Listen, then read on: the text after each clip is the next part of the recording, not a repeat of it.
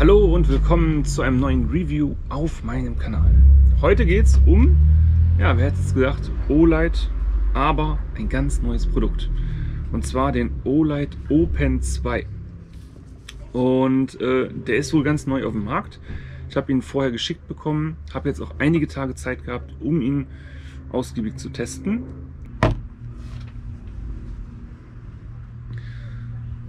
Da ist er.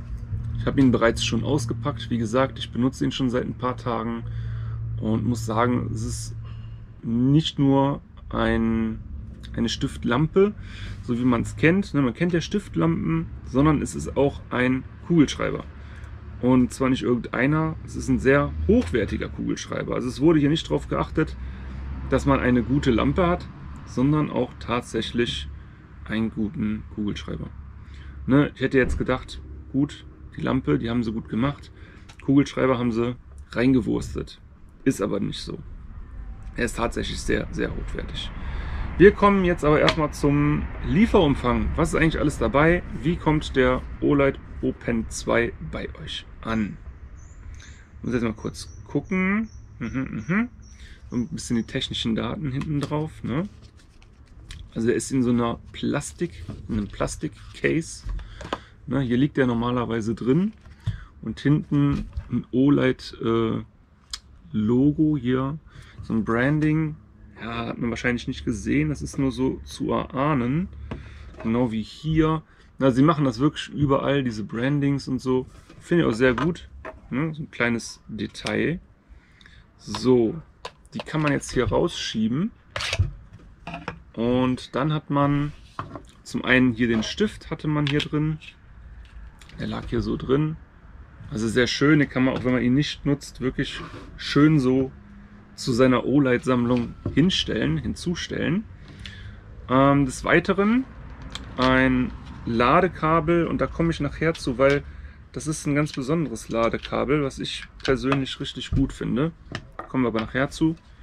Und einen Stift, äh, eine Ersatzmine. Und selbst auf der Ersatzmine ist das OLED-Logo. Ne? Also das ist, äh, ich finde das schon irgendwie ganz cool, dass die überall ihre Logos drauf packen.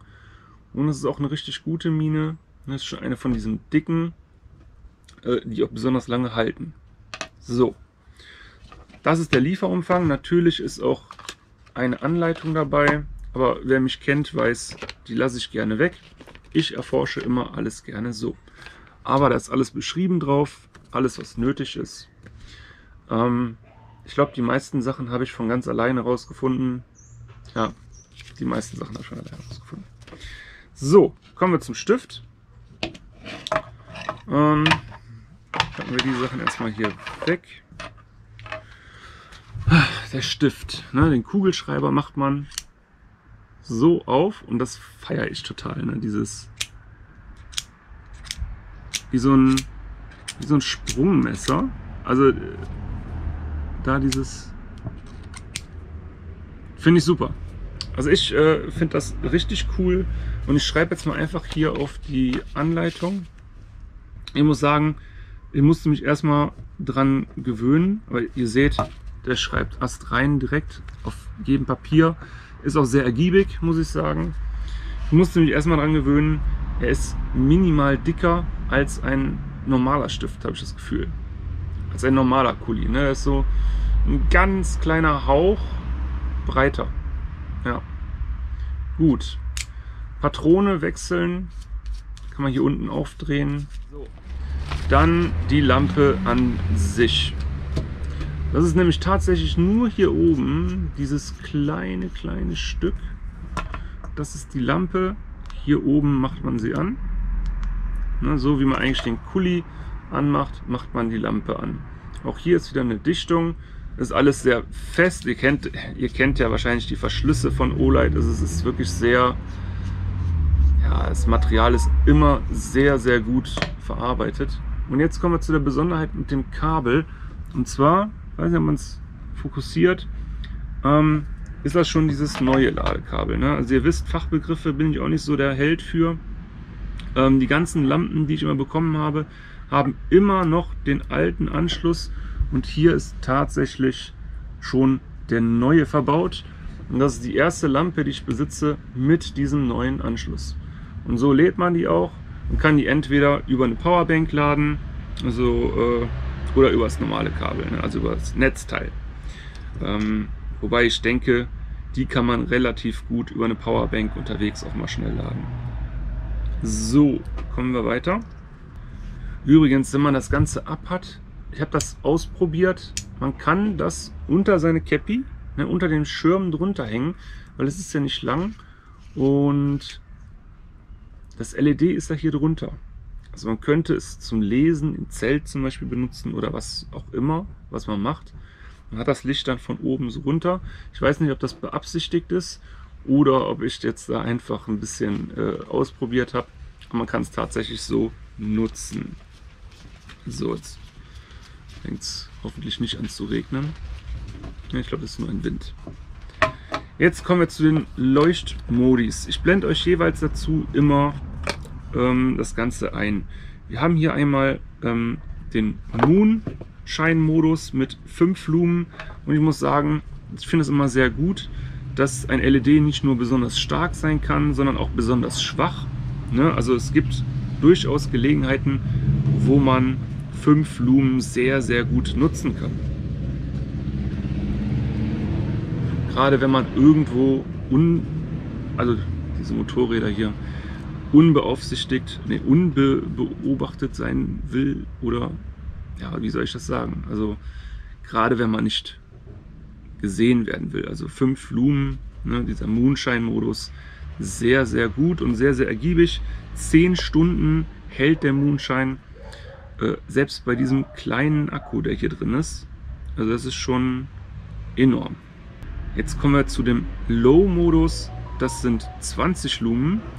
Und den kann man eigentlich schon fast genauso nutzen, wenn man den länger braucht, aber ein bisschen mehr sehen will zum Kartenlesen, zum äh, ja für alles Mögliche. Ne? Also kann das wirklich zu vielen nutzen. Und da ist die Leuchtkraft zwei Stunden und 20 Minuten. Also man kann, ja, Pi mal Daumen, sagen wir zweieinhalb Stunden. Ne? Das hört sich besser an immer. So, dann 60 Lumen für 50 Minuten auch noch viel für diesen kleinen Stift. Also es ist wirklich, darf nicht vergessen, wie klein das Ganze ist. Ich zeige das nochmal. Das ist ja wirklich nur dieses Stück. Guck mal, mein Finger daneben. Also das ist der Wahnsinn, wie klein. Ne, und da ist das LED verbaut, Knopf und die Batterie. Und das hier ist auch noch das Ladestück. Also hier geht nochmal ein ganzes Stück verloren. Also alle Achtung, ne? Alle Achtung. Das ist schon echt krass. 50 Minuten, 60 Lumen. Und mit den 60 Lumen ist man schon über der Leuchtkraft eines Handys. Ne? Die Handys, die haben, ich habe das äh, erforscht im Internet. Ich wusste es nämlich selber nicht. Die haben ja auch manchmal diese Lampen hinten dran. Und die haben so zwischen 40 und 50 Lumen immer. So, dann haben wir noch den High-Modus für 20 Minuten 120 Lumen. Das ist auch, ne? also 120 Lumen für einen Stift, für einen Kuli, den man wirklich immer bei hat und auch als Kuli nutzen kann. Es gibt ja die anderen äh, Stiftlampen, die sind halt einfach nur eine Stiftlampe. Ne? Da muss man dann quasi eine Stiftlampe bei haben und einen Kuli, wenn man einen Kuli will. Ne? Und so hat man direkt beides in einem und 120 Lumen für einen Kuli alle Achtung. Aktuell gibt es natürlich einen Sale von Olight. Ne? Also wenn, diese, wenn ihr dieses Video seht, wenn es noch aktuell ist, in der Videobeschreibung sind alle Daten dazu. Es ist ein Elite-Sale und dort bekommt ihr diesen Stift im Moment auch günstiger. Ich blende ein paar Sachen davon ein zu dem Preis und äh, ja, also Elite-Sale. Äh, Olight macht das zwar immer wieder, aber Elite Cell ist schon was ganz Besonderes und gerade wenn ein neues Produkt rauskommt. Jetzt kommen wir noch zu dem Gewicht. Er wiegt 38 Gramm, sehe ich hier gerade drauf. Also 38 Gramm kann man auf jeden Fall machen. Ne? Er ist schon, ist schon ein Gewicht, ne? man merkt das, aber ich persönlich finde das richtig gut, dass man was in der Hand hat und nicht so ein, so ein ultra leicht Käse aus Plastik oder so. Ne? Also das ist wirklich richtig massiv wieder, so wie man es von Olight kennt. Wir machen ja viel diese taktischen Lampen. Und auch hier, ne, da ist eher der Tisch beschädigt als der Stift. Ja. Freut mich auf jeden Fall, dass ich dieses Produkt euch vorstellen konnte und ähm, ich sehe das Produkt eigentlich fast an jedermann, der beruflich vielleicht auch ein bisschen frickelt und so, der dann mal eben irgendwo was ableuchten kann, in einen Motorraum, in äh, eine Ecke, in, also ich sehe es wirklich bei auch jedem Handwerker, sei es oder, oder auch, also ich sehe es bei fast jedem. Also eine Gelegenheit, eine Taschenlampe zu nutzen, ist immer gut. Und ich sag mal, wenn man einen Stift braucht und man braucht zufällig eine Taschenlampe und man sagt, hey, warte mal, ich habe da eine Lampe. das finde ich besonders cool. Ist bestimmt das Highlight überhaupt, wenn man dann einfach seinen Stift nimmt und eben alles ausleuchtet. So, in der Endcard findet ihr auch noch ein paar andere Reviews zu OLED-Lampen. Ansonsten wünsche ich euch was. Wir sehen uns. Bye bye.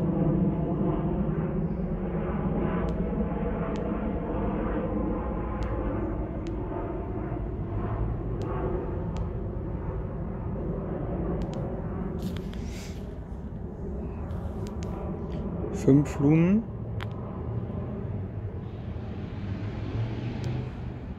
20 Lumen, 60 Lumen,